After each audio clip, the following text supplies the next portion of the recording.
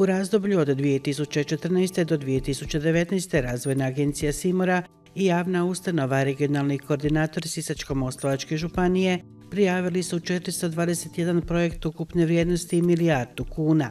Najznačajniji projekti objeljeni su u prigodnoj brošuri te predstavljeni javnosti. Mi smo u proteklih četiri godine od kad je uh, Ivo Žinić postao župan Sisačko-Moslavačke županije dobili zapovjed, da to tako kažemo, da ne smijemo promašiti nijedan natječaj Europske unije, da, da se moramo javiti na sve i evo, zahvaljujući tome smo i uspjeli i uspjeli napraviti dobar tim i u Simori i u javnoj ustanovi a iza nas su brojni ostvareni projekti. Čelan je istakao kako je Sisačko-Moslavačka županija među prve tri županije po povučenim novcima iz ruralnog razvoja.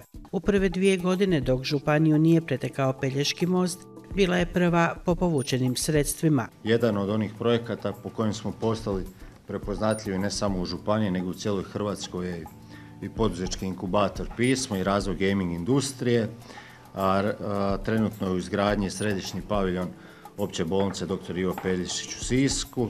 Također smo u brojnim ESF fondovima doprinijeli tome da se i poveća razina zaposlenosti i naših kompetencija. Istaknut je i Centar za ljevarstvo SIMET, master plan prometnog razvoja Županije, kao i 32 projekta energetske učinkovitosti vrijedna oko 117 milijuna kuna. Sve to ne bi ostvarili, naglasio je Čelan bez potpore Sisačko-Moslavačke županije. Ovdje govorimo o projektima koji su ili u završnoj realizaciji ili su započeli i u visokom stadiju realizacije. Dakle, mi govorimo o toj prvoj milijardi kuna.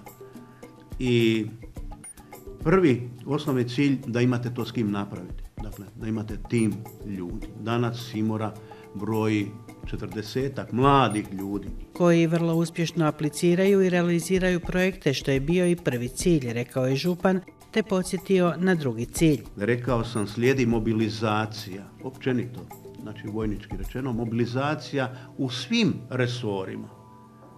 Nemojte slučajno da promakne i jedan natječaj. Da li je to iz nacionalnih izvora, nekih drugih, iz fondova Europske unije, iz fondova nekih drugih gdje mi možemo sudjelovati, aplicirati, a da to nam promakne, mi ćemo procijeniti da li je to prihvatljivo, nije prihvatljivo.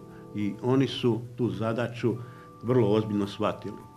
I u Simori, ali i u cijeloj županijskoj upravi. Dakle, mobilizacija, zapovjed. Nemojte slučajno da promakne i jedan natječaj. Imali smo ideju i viziju, te hrabrost ostvariti dobre ideje, rekao je Župan. Često puta te ideje, vizije su nadilazile trenutno stanje, sadašnjost. Dakle, ovi neki projekti su i budućnost. Možda ne ovi svi koji se realiziraju, ali imati ideju, viziju i hrabrost odlučiti se na neke projekte može samo netko i tim koji ima vjeru u sebe, koji ima znanje, koji ima sposobnost. I to smo imali. To je ta sreća. Znači da smo uspješno krenuli u jednom pravom smjeru. Posebno se to odnosi na projekt Sisačko-Moslavačke županije kao gaming industrije, rekao je Župan i dodao kako je milijarda kuna velik novac, no to nije samo novac, već i tisuće radnih mjesta. Tu se ne smije zaboraviti da smo imali veliku potporu i naše vlade, našeg ministarstva regionalnog razvoja, gdje evo uspješno i dobivamo određene sufinanciranja kroz određene projekte. To je bitno naglasiti, a velika potpora je i to što smo evo i nedavno potpisali, uručili ugovor Simore za plaće naših djelatnika koje evo financira Ministarstvo regionalnog razvoja fondova Europske unije. Sve to jamči i opstanak mladih, poput OPG-ovaca Nikole Matlejkovića i Josipa Tvarušeka, koji su uz pomoć Simore povukli značajna sredstva iz programa ruralnog razvoja. Prošle godine sam se prijavio na natječaj mjere 611 za mlade poljoprivrednike preko razvojne agencije Simore. E, mogu reći da je suradnja bila odlična i uspješno smo znači aplicirali mjeru.